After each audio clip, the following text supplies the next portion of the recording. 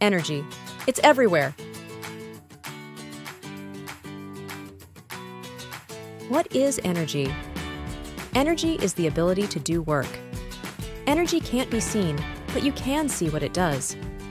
Energy makes your toys move, cooks your yummy pizza in the oven, and even keeps you warm when it's chilly outside. Types of energy. There are many types of energy. Here are some examples. Muscle power. Your energy comes from the food you eat. When you run, jump, or play tag, you're using energy. The sun is a source of energy. It helps plants grow and gives us light and warmth. Without the sun, our planet would be as cold as a popsicle. Wind can push giant windmills that create electricity. This is energy we can use to light up our homes and schools.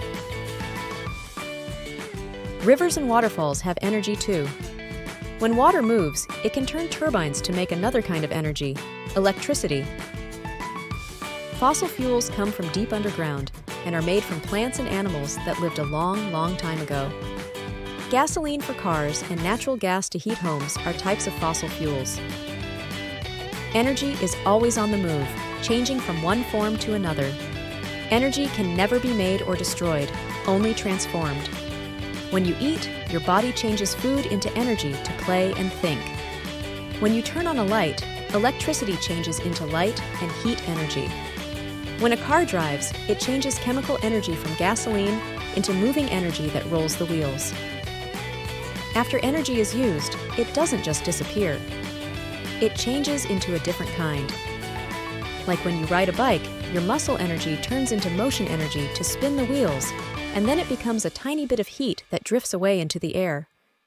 This is part of something called the law of conservation of energy, which is just a fancy way of saying energy changes. Energy helps us do everything from lighting up our birthday candles to sending astronauts into space.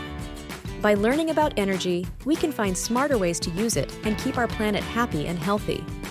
So, the next time you switch on a light or see a bird flying, think about the energy making that possible